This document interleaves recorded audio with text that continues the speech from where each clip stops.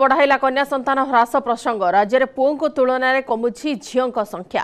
ଝିଅ ସଂଖ୍ୟା ହ୍ରାସରେ ଛଅ ନମ୍ବର ସ୍ଥାନରେ ଓଡ଼ିଶା ଥିବା ରିପୋର୍ଟ କହୁଛି। ଗତ ଚାରି ବର୍ଷରେ ତେଇଶ ପ୍ରତିଶତ କମିଛି ଝିଅଙ୍କ ସଂଖ୍ୟା। ପ୍ରତି ଏକ ହଜାର ପୁଅରେ ଝିଅଙ୍କ ସଂଖ୍ୟା ରହୁଛି ନଅଶହ ପଚିଶ। ଉପାନ୍ତ ଅପେକ୍ଷା ଉପକୂଳ ଜିଲ୍ଲାରେ ସ୍ଥିତି ସଙ୍ଗୀନ ବୋଲି ରିପୋର୍ଟରେ ଉଲ୍ଲେଖ ରହିଛି। ଏନେଇ ସ୍ୱାସ୍ଥ୍ୟ ବିଭାଗର କର୍ମଶାଳାରେ ପ୍ରକାଶ ପାଇଛି ଉଦ୍ବେଗ। ଲିଙ୍ଗ ନିରୂପଣ ପରେ ଗର୍ଭପାତ ପୁତ୍ର ସନ୍ତାନକୁ ପ୍ରାଧାନ୍ୟ ଏବଂ ମାନସିକତାରେ ପରିବର୍ତ୍ତନ ନ ହେବାରୁ ଏପରି ସ୍ଥିତି ସୃଷ୍ଟି ହୋଇଛି ବୋଲି କର୍ମଶାଳାରେ ମତ ପ୍ରକାଶ ପାଇଛି।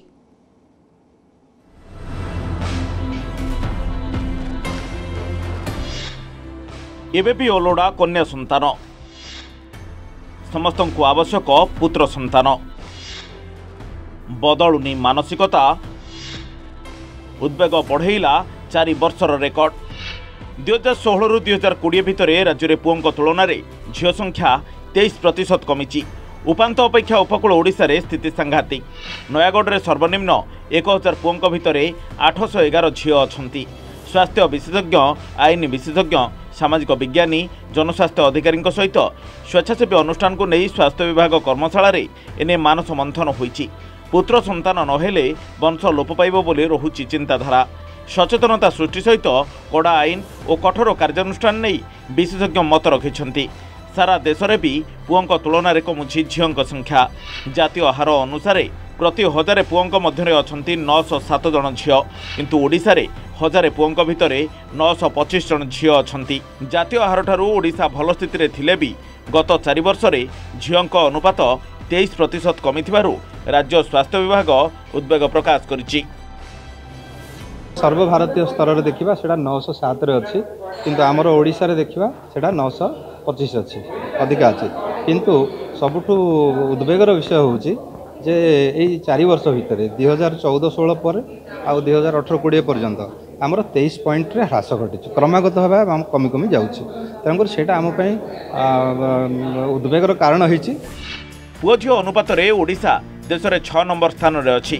କେରଳ ଛତିଶଗଡ଼ ପଶ୍ଚିମବଙ୍ଗ ହିମାଚଳ ପ୍ରଦେଶ ଏବଂ ଆନ୍ଧ୍ରପ୍ରଦେଶ ପରେ ଓଡ଼ିଶାରେ କନ୍ୟା ସନ୍ତାନ ସ୍ଥିତି ରହିଛି। ସବୁଠାରୁ ଗୁରୁତ୍ୱପୂର୍ଣ୍ଣ କଥା ହେଉଛି ଅଶିକ୍ଷିତଙ୍କ ଠାରୁ ଶିକ୍ଷିତ ଲୋକେ ଏଭଳି ମାନସିକତା ବେଶୀ ରଖୁଛନ୍ତି। ସେପଟେ ଆଇନଗତ କାର୍ଯ୍ୟାନୁଷ୍ଠାନ ନେଇ ତଥ୍ୟ ରଖିଛି ପରିବାର କଲ୍ୟାଣ ବିଭାଗ।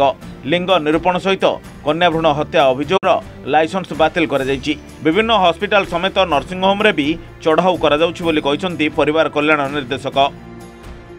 ସେକ୍ସ ଡିଟର୍ମିନେସନ୍ ଏବଂ ସିଲେକ୍ସନ୍ କରିବା ଏକ ଦଣ୍ଡନୀୟ ଅପରାଧ।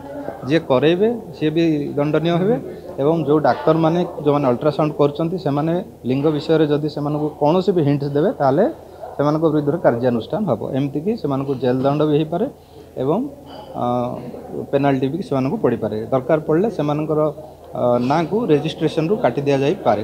ଆଗରୁ ସେକ୍ସ ଡିଟର୍ମିନେସନ୍ କରୁଛନ୍ତି ଆମେ ପ୍ଲାନ୍ ପ୍ରେଗନେନ୍ସି କରୁଛନ୍ତି ତା ଭିତରୁ ଆଉ ବେଶୀ ଡିଟେଲ୍ ଯିବାନି। କିନ୍ତୁ ସେଇ ଗୋଟେ ଜିନିଷ ଯେଉଁ ଅଛି ଯେଉଁଟାକି ଆମର ମୁଁ କହିଲି ନା ଟିକେ ଆଗରୁ ଗୋଟେ ପ୍ରିଫରାନ୍ସ ଯେଉଁ ମେଲ୍ ଚାଇଲ୍ଡ ପ୍ରିଫରାନ୍ସ ଦ୍ୟାଟ୍ ଏଟିଚ୍ୟୁଡ୍ ସୁଡ୍ ଗୋ ନା ନା ଦଣ୍ଡବିଧାନ ଅଛି। ଦଣ୍ଡବିଧାନକୁ ଆମେ କେମିତି ଶାଣିତ କରିପାରିବା ଆମର ଯେତିକି ଆସିବ ସଜେସନ୍ ଆସିବ ଆମେ ସରକାରଙ୍କୁ ଦେବା ପଲିସି ଚେଞ୍ଜ ହେବ। ଲିଙ୍ଗ ନିରୂପଣ ଏବଂ କନ୍ୟା ଭ୍ରୂଣ ହତ୍ୟା ଏକ ସାମାଜିକ ବ୍ୟାଧି ଭାବରେ ବ୍ୟାପିଛି। ଏଭଳି ସ୍ଥଳରେ ଲୋକଙ୍କୁ ସଚେତନ କରିବା ସହିତ ପୁଅ ଝିଅଙ୍କ ମଧ୍ୟରେ କିଛି ଫରକ ନାହିଁ ବୋଲି ବୁଝାଇବାକୁ ପଡ଼ିବ। ନହେଲେ ଆଗାମୀ ଦିନରେ ପୁଅ ଝିଅ ଅନୁପାତରେ ଅସମାନତା ଏକ ସଂକ୍ରମିତ ରୋଗ ଭଳି ମାଡ଼ି ଚାଲିବ। ଭୁବନେଶ୍ୱରରୁ ସୁମନ୍ତ ସୁନ୍ଦରାୟ ନ୍ୟୁଜ୍ ଏଇଟିନ୍ ଓଡ଼ିଆ বাংলাদেশি ঝিও রুমা এবং বালেশ্বর পুয়